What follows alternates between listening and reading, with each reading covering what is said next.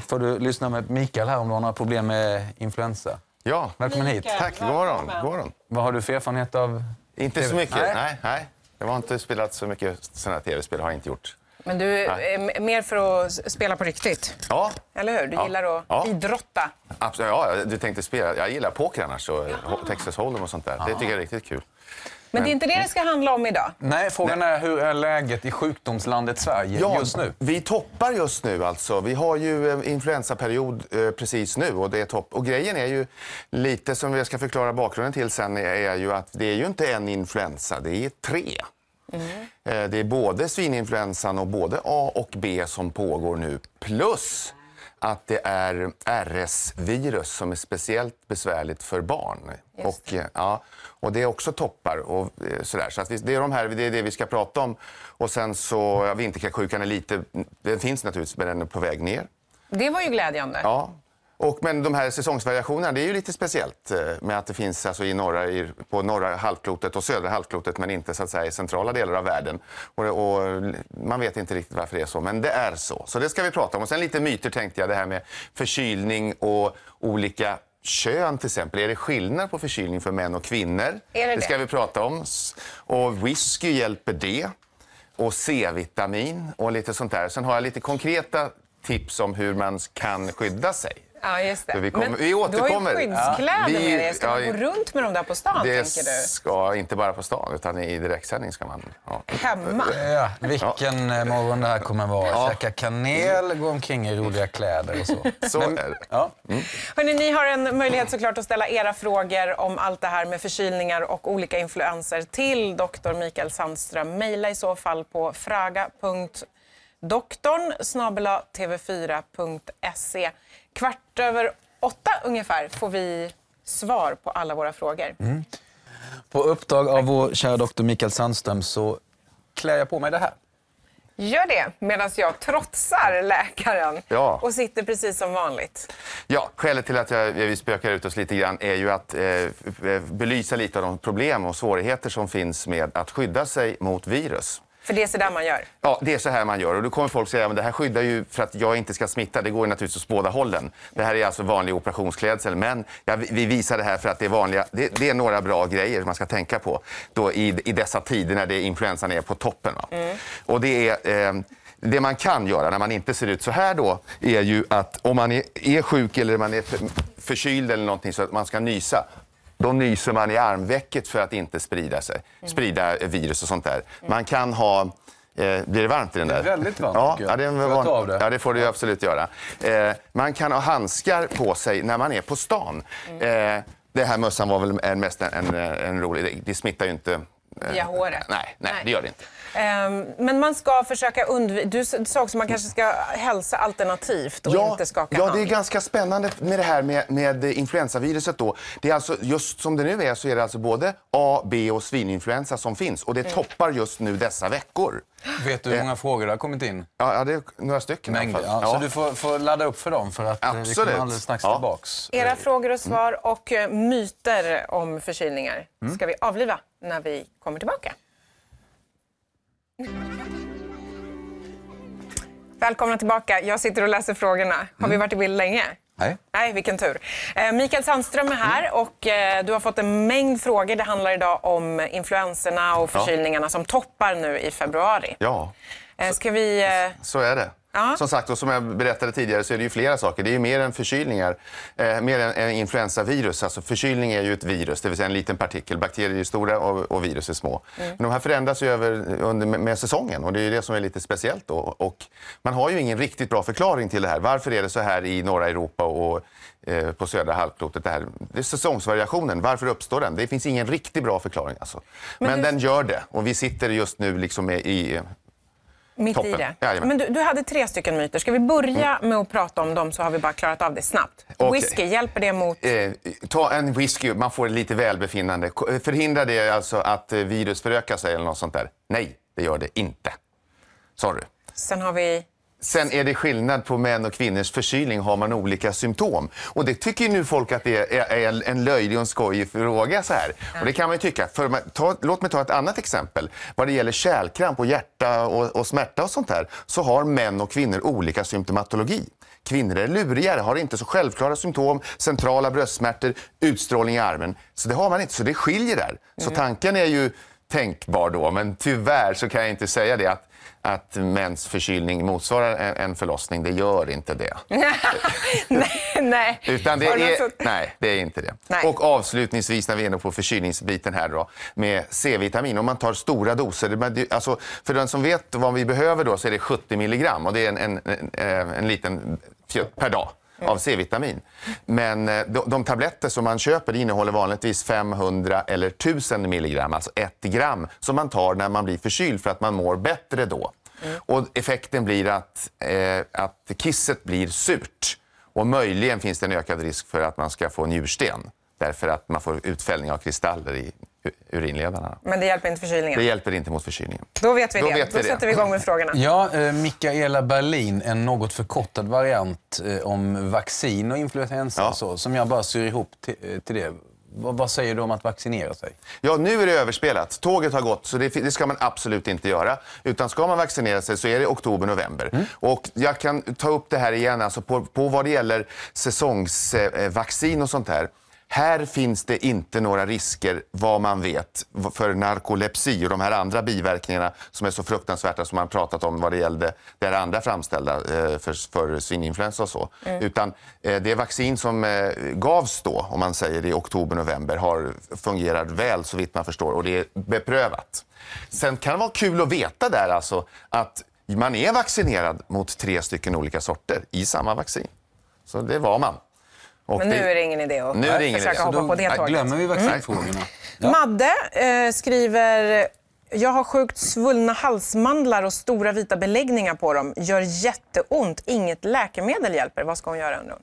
Ja, det, eh, man kan ju ta då, det finns alltså eh, Bamyl och, eh, som man kan lösa upp för mot och gurgla sig med. Man kan ta lite eh, eh, Xylocain och sånt där för smärtan och sånt där. Nå, någon Alvedon. Det intressanta här är ju att veta, man vill ju veta om den här personen har feber, hur länge det har varit. Det vet jag inte riktigt. Men det för oss in på det här att det är ganska vanligt att att komplikationerna som uppstår till förkylningar och virusinfektioner som sådana är bakteriella, men de kommer efter ett tag. Så det man ska, som ett varningstecken här, det är jag hade feber, den gick över, men nu har den kommit tillbaka. Då ska man söka vård.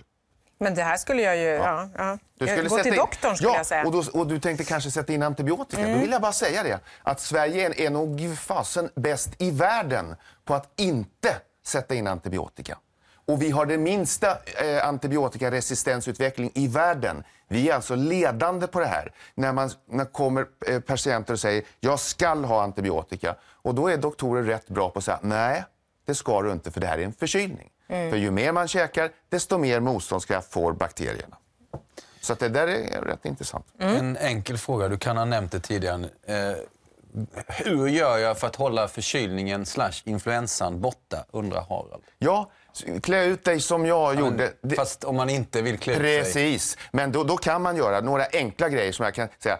Eh, om jag var liksom elitidrottsman Mm. och, och någon nyste på bussen eller på tunnelbanevagnen, bara rakt ut, jag skulle gå av. Det är så smittan kommer. På vintertid är det lite mer luftburen smitta vad det gäller virus och bakterier. Eh, sommar, vårtid och sådär, då är det lite mer kontaktsmitta. Man tar där någon annan har tagit. Om jag har haft... Det räcker alltså? Ja, just det. Har jag haft en, en, en handske på mig, vilket är en jättebra grej, jag ska föreslå, och så tar jag på det här och sen har jag kvar handsken och petar mig i näsan. Då, då får jag ju en infektion i alla fall. Då hjälper det ju inte. Va? Men vilket för mig in på för ett konkret grej. Är man, handskar kan man inte ha hemma, man kan inte vara klädd. Det var ju liksom för att skoja till det lite. Handskar på stan är jättebra. Ta på handskar på, när man går ut på stan och träffar och möter, står och slår in koder och sånt där. Då är det bara med en vanlig liksom, handske, vante. Men om man inte vill gå i, i, i den här, vilket ju kan kännas lite Michael Jackson-artat, och ha en sån här.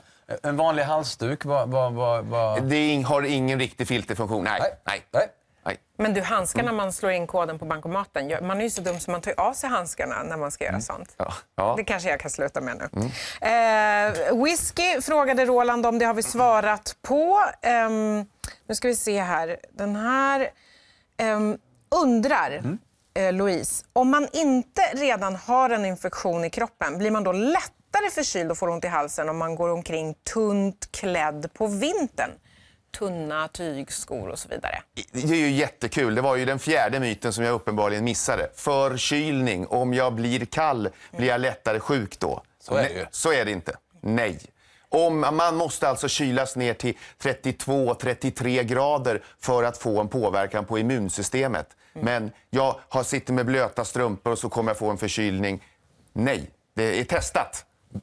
Varför är en hel generation uppfostrad med att du måste ha mössan på dig annars Ja, så blir du förkyld? ja, så de här, liksom, det, det här med, eh, sociala beteendet är lustigt ibland. Alltså. Det är det verkligen. Man har ju testat det här alltså, på folk som sätter sig med fötterna i, i kalla hinkar och så sprayar de med förkylningsspray. Så sitter en annan grupp, den här undersökningen jag har läst, sitter en annan grupp varma och fina och får samma spray med förkylningsvirus.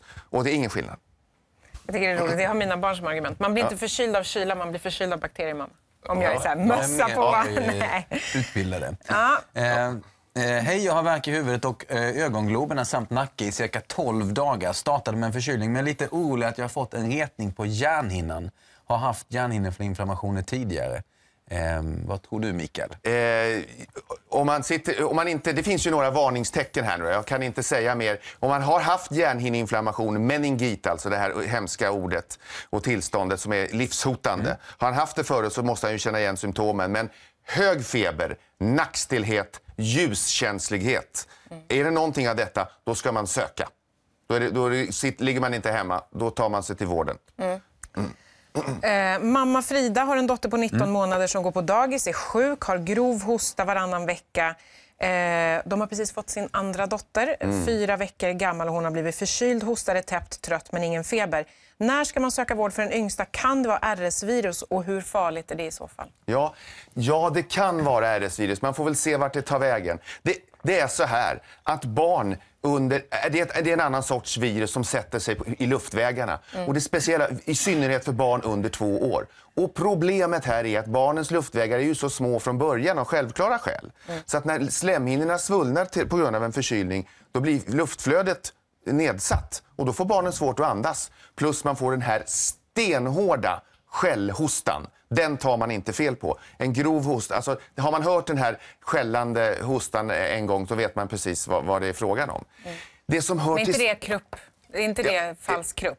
Eh, ja, just, Skällhostan? Ja, just det. Men den, ja, den, är, den är av samma karaktär med RS-virus. Då. Och det toppar nu. Alltså, de har ju 100 patienter om dagen på barnsjukhusen här. Alltså. Eh, och det är besvärligt. Några få Eh, det går det så långt att det blir så svullet att man måste respiratorbehandla dem. Alltså.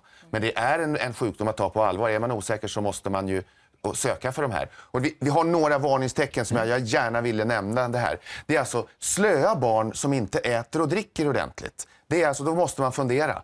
Har de då blöjor, då, då, då ska man titta det här. Torra blöjor är ett varningstecken.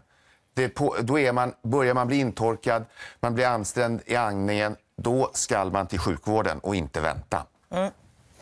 Hellre en gång för mycket än för lite Ja, med är det- vad det gäller- småbarn. ja. Fråga på till Mikael som kommer tillbaka strax efter kvart över nio med de frågor som ni har fått nu när ni suttit hemma och eh, lyssnat. Så, lite vegetariskt på matbordet ikväll kan ju trösta den förkylda. Mikael är tillbaka. Det har rasslat ordentligt i våran inkorg på mejlen. Det har det gjort. Alltså jag, jag är väldigt förtjust över detta, detta och jag kan tycka över... Nu har jag liksom varit med lite grann här och tycker att frågorna blir vassare och vassare och mer konkreta och direkta. Eh, glädjande. Mycket bra frågor alltså. Ska vi se om du kan komma med några bra svar då. Ja, precis. Skydda en influensa mot en annan. Nej, det gör inte det. Tack. Så, stopp. Det var konkret. Den där tycker jag är bra också, träning. Träning, eh, streck, förkylning, astma. Ja, Vad menar träning. du med den frågan? Flera har kommit med samma fråga. Ja. Träning, Vasalopp, vi kommer komma till det också. Det finns Ja, andra frågor. Mm. Men förkylningsastma och hur gör man? Ja, Peter, vad, vad upplevde du när du fick på det här? Två saker sa du att du, du upplevde. Ja, jag fick ju lite cellskräck. Ja. Och det är för att jag inte är van. Men sen blev det varmt tyckte Och? jag. Eh, Fuktigt. Fuktigt, ja. Och på vintern är det kallt och torrt. ja. Så det här är alltså inte en så dum idé. Det är många som tränar och säger jag kan ju inte ha en försöker med halsdukar och sånt här. Men ska man gå med sån här på stan? Nej, det ska man inte. Men om man nu har ett specifikt mål, ett smart mål uppsatt eh, och ska ju vara med i Vasaloppet och man tränar och det är kallt ute. Ta ett munskydd. Alltså det gör stor skillnad. Jag Var vet- hittar du dem då? Eh, det kan man köpa. Alltså, det här, de här hittar jag på sjukhuset. Ja, jag vet, men var hittar jag dem? Var hittar jag dem? Ja, det, det, det kan man nog köpa på va? apoteket tror jag. Mm, Jag har inte ens också. kollat. Nu sitter ni här och tror. Ja, det tror vi. precis. Ja, vi tror vi kan få på apoteket. Och även sångare och sådana som är, kän- så har ju är rädda för sina stämband och är lite oroliga. Sådär. Just det här med att du får, det blir fuktigt och det blir varmt. En bra grej just nu. Då bockar vi av den. Ehm, just det, för här, det var ju Annika i Uppsala som frågade om det här med Vasaloppet. Det var mycket förkylningar i familjen och maken som skulle åka Ja, och Vasaloppet. då finns det där, vad kan man då göra? Kan ha munskydd och handskar? Nej. Men det är en sak, också som jag, som jag sa förut. På vintern eh, så smittar det lite mer luftburet. Mot det luftburna hemma inomhus kan man ingenting göra. Det man kan göra är att inte hålla på och, och när man, veckan innan Vasaloppet och folk är förkylda och man är hemma.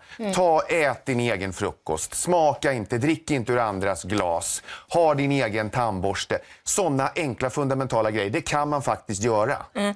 Här fråga, ja, förlåt. Ja, den här fick vi in förra gången som vi inte tar. Eh, Går det att snabba på läkningen Just eller är det bättre att vila, undrar Rutger. Ja, nej, det går inte att snabba på läkningen, vilket för oss osökt in på myten här. Som man vill göra då, i sin iver att tro att man kan göra det, så vill man då bada bastu. Just. Ja, och sen nu tar jag en rejäl bastu och sen en rejäl whisky, Whisky. och sen en rejäl rödvin med socker i och så skyndar jag på det hela och man kommer ut och är stärkt. Nej!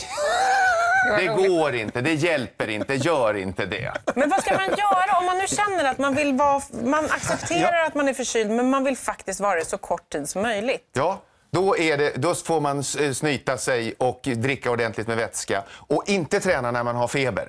Nu kommer, för då kommer träningsfrågan. Är, vad ska jag göra då? Jag satsar på den här. Jag håller på att förbereda mig som fasen för, för det här med Vasaloppet och nu är jag lite hängig. Vad ska jag göra? Kör inte maxpass. Kan man köra lite teknik och sånt där. Men, men pressa er inte till det yttersta om ni inte...